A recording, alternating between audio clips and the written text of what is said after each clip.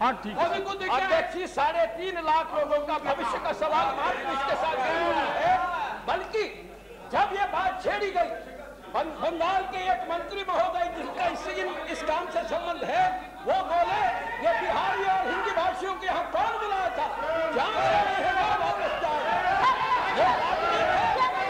ये बात नहीं है।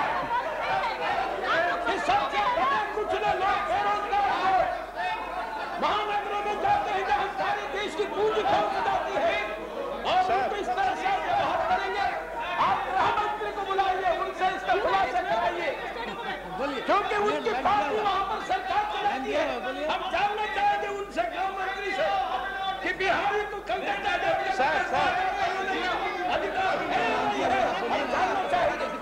छपी